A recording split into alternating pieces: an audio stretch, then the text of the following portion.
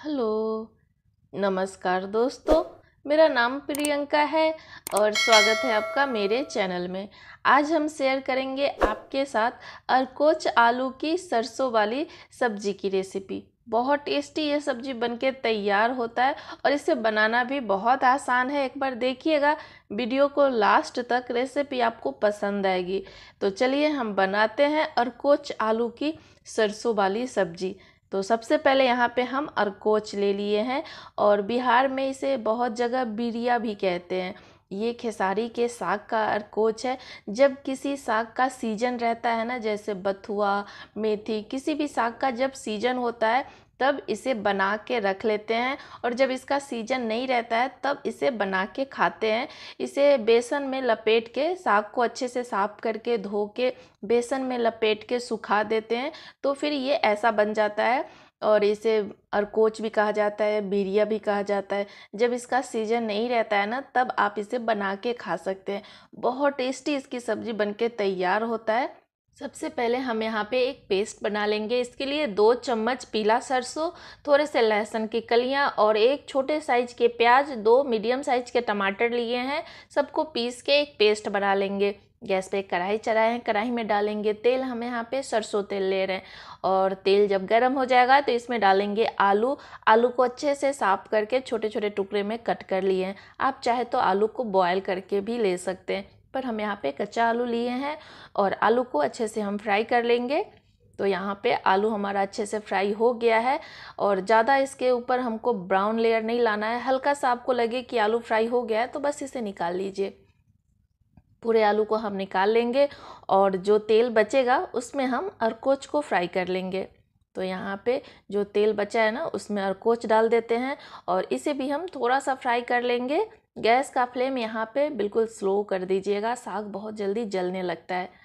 तो इसे चलाते हुए हम फ्राई कर लेंगे और यहाँ पे अरकोच भी हमारा फ्राई हो गया है तो इसे निकाल लेते हैं। पूरे अरकोच को निकाल लेंगे और अब इसमें हम बनाएँगे ग्रेवी। तो अरकोच को निकाल लिए, कढ़ाई को थोड़ा सा साफ़ करके इसमें डाले हैं दो चम्मच सरसों तेल और अब इसमें हम डालेंगे पंचफोरन एक छोटी चम्मच। आप चाहे तो सिर्फ़ काला सरसों और जीरा भी डाल सकते हैं और यहाँ पे दो साबुत लाल मिर्च, एक चौथाई चम्मच हींग डालेंगे और थोड़ी देर इसे भून लेंगे। अब इसमें हम डालेंगे सूखे मसाले। तो गैस को बिल्कुल सिम कर दीजिएगा और इसमें डालेंगे तीखा वाला मिर्ची पाउडर है ये, आधा चम्मच से थोड़ा सा ज़्यादा और आधा चम्मच हल्दी पाउडर और एक चम्मच हम यहाँ पे कश्मीरी लाल मिर्ची पाउडर लिए हैं। इससे साग का सब्ज़ी का कलर बहुत सुंदर आएगा। ऑप्शनल है ये। और इसमें अब हम वो पेस्ट डाल देंगे जो सरसों, प्याज, टमाटर को पीस के बनाए थे। सबको एक ही साथ हम पीस दिए थे।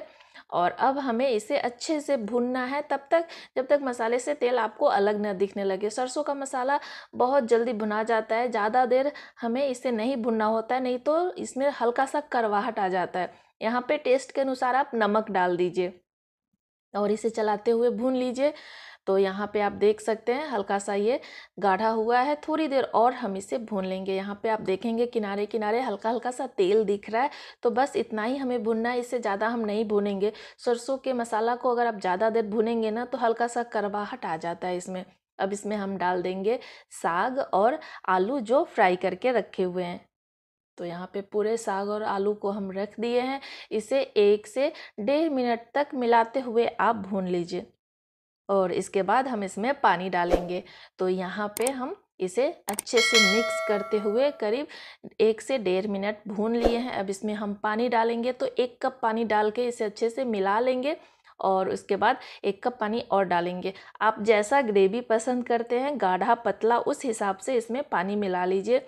और कोच थोड़ा सा ज़्यादा पानी सोखता है क्योंकि इसमें बेसन भी रहता है तो इसलिए थोड़ा सा ज़्यादा पानी डालिएगा और अभी हमें इसे पकाना भी है, आलू को भी पकाना है, साग को भी पकाना है तो थोड़ा सा ज़्यादा ही पानी डालिएगा।